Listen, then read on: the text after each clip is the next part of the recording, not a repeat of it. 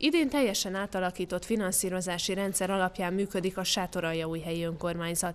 Az új önkormányzati költségvetési törvény két jelentős változást hozott. Az egyik, hogy a települések nem tervezhetnek működési hiányt, és az évközben felvett működési hitelt még abban az évben vissza kell fizetni. Emellett megváltozott az önkormányzatok pénzügyi forrásának szerkezete is, így például az SZIA korábban helyben maradó részét idén már nem kapják meg az önkormányzatok. Azon önkormányzatok, ahol ez egyfőre vetítve adott település típusnak megfelelő átlagot nem ért el, ott még kiegészítést is nyújtott az állam az önkormányzatoknak.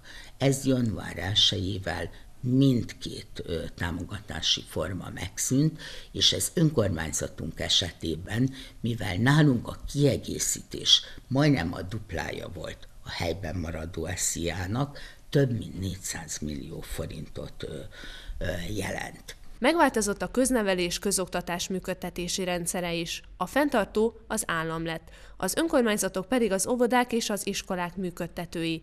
Ez azt jelenti, hogy bár a pedagógusok bérét és az oktatáshoz közvetlenül tartozó feladatokat az állam finanszírozza, az épületek rezsijét, karbantartását továbbra is a város fizeti helyen ez a költség a helyi középiskolák épületeinek fenntartásával tovább növekszik, így csak az oktatás több mint 185 millió forint kiadást jelent évente.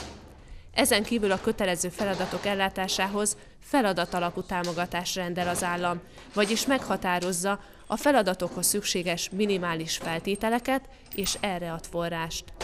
Korábbi évekhez viszonyítva csökkent az az összeg, amit az óvodai ellátásra kell biztosítanunk, de még most is több tízezer, több tízmillió forinttal kell hozzájárulni saját bevételeink terhére, ahhoz, hogy az óvodai ellátást teljes körűen, ugyanolyan színvonalon biztosítsuk a városban, mint ahogy eddig. Az új költségvetési törvény a helyhatóságok bevételi forrásait is érintette a helyi iparűzési adó 25%-át elvonja az állam, vagyis ennyivel kevesebb állami támogatást biztosít az önkormányzatoknak. Ez helyen mínusz 108 millió forintot jelent. A helyi gépjármű adó bevétel 40%-a marad az önkormányzatnál, a többit az államkincstár számlájára kell befizetni a városnak. Bár a településeknek lehetőségük van egyéb adóterhek kivetésére, a Sátoraljaújhelyi önkormányzat nem tudja és nem is akarja tovább növelni a lakosság adóterheit.